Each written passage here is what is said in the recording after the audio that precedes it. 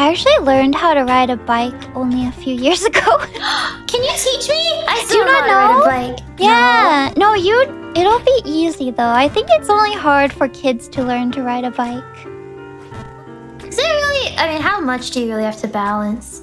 Yeah, you'll get the hang of it. It took me like two days of practice, with just like a like a few hours between them, and then I could balance okay enough to ride it, and then get better from there.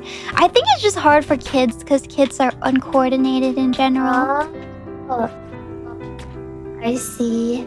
Yeah, I think you'll have no problem. Like I didn't even use training wheels or anything. No, I I don't know why I never learned to ride a bike. I had a yeah, well, I didn't either. Oh, I had a scooter. I had a scooter too. Like Yeah. I feel like maybe I had the tricycle and then I discovered like what scooters were.